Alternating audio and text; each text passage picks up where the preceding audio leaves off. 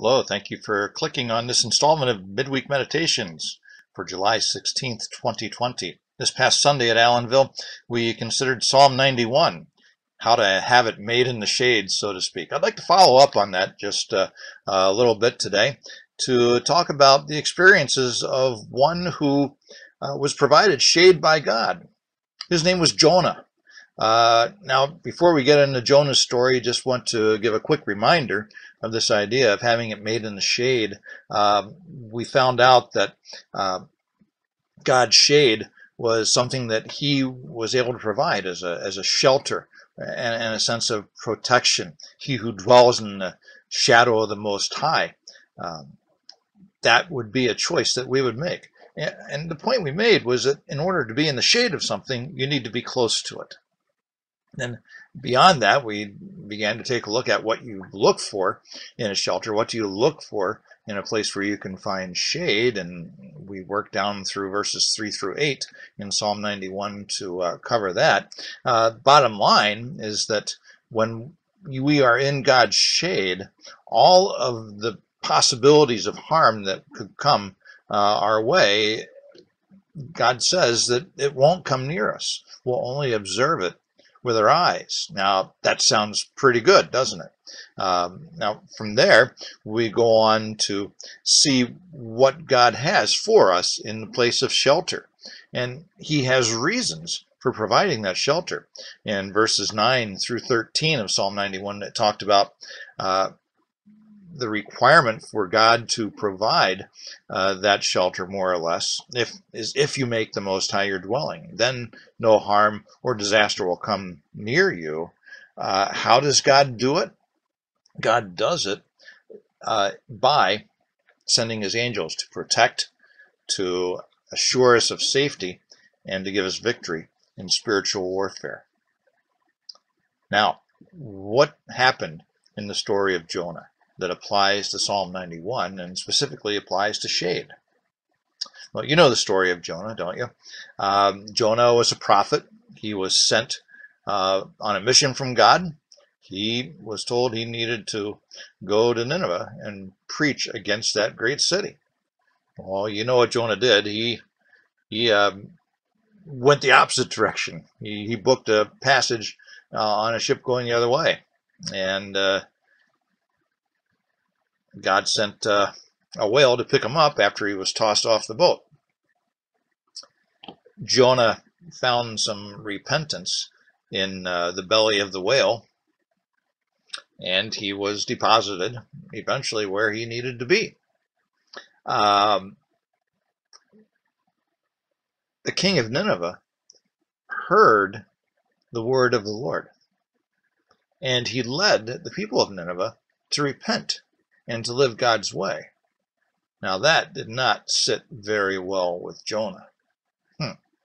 We pick up um, the story in Jonah chapter 4. If you have your Bible, I invite you to grab it and turn there with me. Uh, it says here that Jonah was greatly displeased and became angry.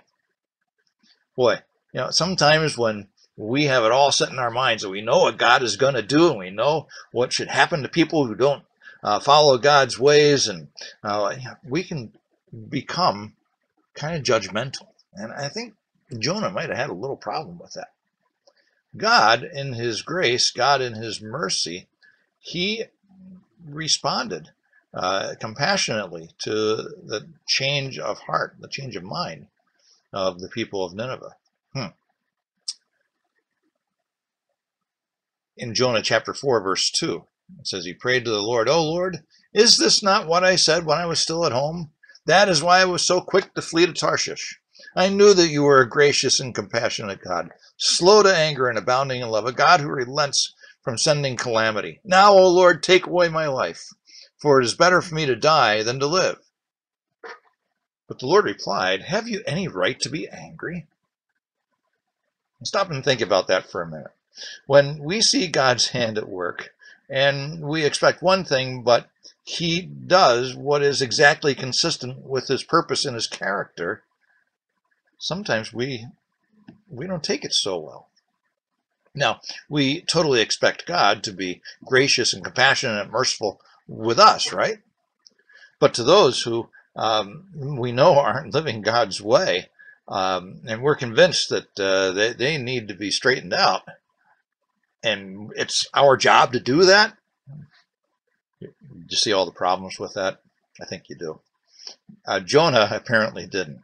What did he do? Look at chapter 4, verse 5. Jonah went out and sat down at a place east of the city.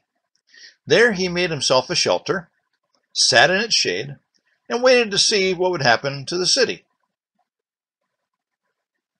Okay, yep. Middle East, that would be a, a warm place to be. But look what he did. He, he ran away, more or less. He kind of, I can see him kind of stomping off and sitting down with a big and just uh, getting warm out here. I'll build myself a shelter. I'll find the materials, I'll do it my way, and I'll do this all for me. And he sat in the shade, waited to see. I see a problem with that. Jonah did it his way. Look what God did. Verse 6 Then the Lord God provided a vine and made it grow up over Jonah to give shade for his head to ease his discomfort. And Jonah was very happy about the vine. Hey, all about me, right? I built me a vine, and look what God did. He's so good. He's so kind. He did this for me. Hmm. Jonah was happy. He was comfortable. And he was still watching to see what would happen to Nineveh, to see if judgment would come booming down. But at dawn the next day, God provided a worm, which chewed the vine so that it withered. When the sun rose, God provided a scorching east wind, and the sun blazed on Jonah's head so that he grew faint.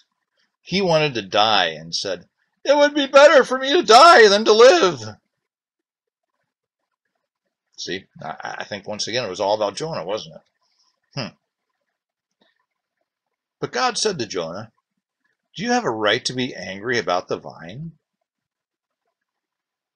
Now, this is the second time that God asks Jonah if he has a right to be angry about what God chooses to do. Does that happen with us sometimes? Do we get angry at God?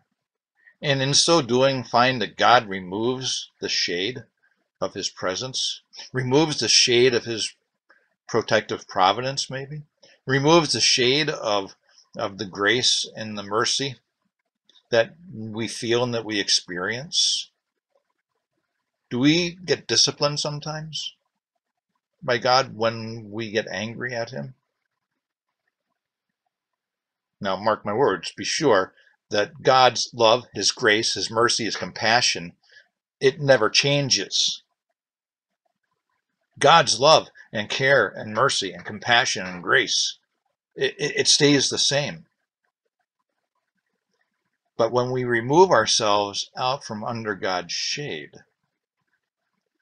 then we don't sense his presence and everything that goes with it. When we get angry at God, we think that our own rights trump God's plan and his purpose and his will, don't we?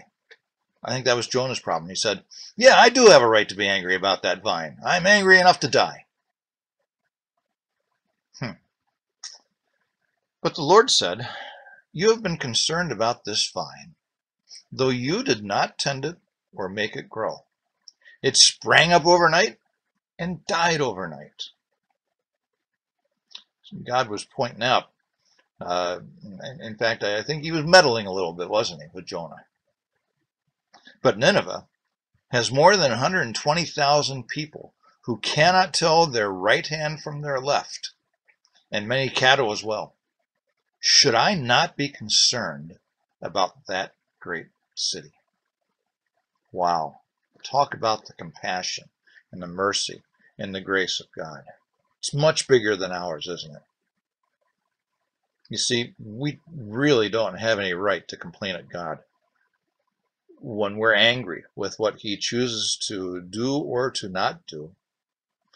When we choose to remove ourselves out from the place of shade, from the shelter of his presence, from his dwelling place. We have no right to be angry. And mm-hmm. we won't have it made in the shade. So why does God do that? Why does God allow that to happen? Well, I think we find out here from Jonah's situation why he does that. Verse 11 tells us about God's purpose and the lesson that God had for Jonah in the end of that whole story about Jonah and and his adventure. You see, are we so angry at God that we need to spend some time in the belly of the whale? And then be spewed out of the whale and land exactly where he wants us? Wouldn't it be much better to be obedient and go where he wants us to go or do what he wants us to do the first time? I think it's always better that way, isn't it? You see, sometimes when we're out of fellowship with God, when we don't honor his name, when he is not our dwelling place, except for a few select moments, then yeah, we've removed ourselves out from under his shelter. Once we're willing to learn the lesson that God has for us to learn, that he's in control, that he will be compassionate upon whom he will be compassionate, and he will be gracious to whom he will be gracious, and he will be merciful to whom he will be merciful. Yeah. And then I think we've learned our lesson. God's in control. He is gracious. He is compassionate. He is merciful. And I pray, my friend, that you will experience God's grace, and compassion, and mercy and peace today. So is there something that's bugging you? Is there something that you're angry at God about? Why don't you turn to his word and turn to him in prayer and bring yourself back into his presence and ask him how you can learn from this situation and be honoring and glorifying to him. Then you indeed will have it made in the shade.